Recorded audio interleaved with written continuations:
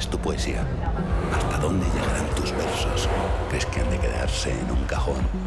¿O en la memoria de tu móvil? Hemos venido a buscarte. La poesía es un grito en la calle, un susurro al oído, un puñetazo en la mesa. La poesía es dignidad, la dignidad de tu mundo y de tu tiempo. La poesía baja el globo de la injusticia y cambia el valor de la rabia y la esperanza, el amor y el desencanto. Llevas dentro un fuego sagrado. Sientes que alguien a quien no conoces se reflejará en tu poesía. Entonces hay un espacio para ti, donde los versos se liberan y el arte y la vida van de la mano.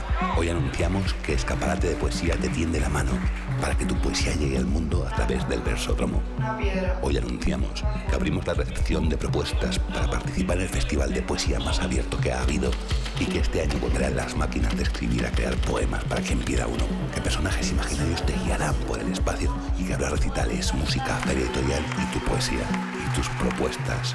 Habrá jam de poesía permanente en las redes sociales de este colectivo que está cambiando las reglas del juego.